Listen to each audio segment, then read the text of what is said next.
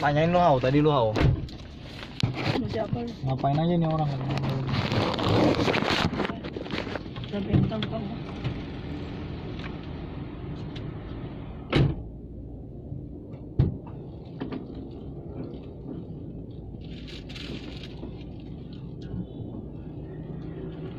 Cool.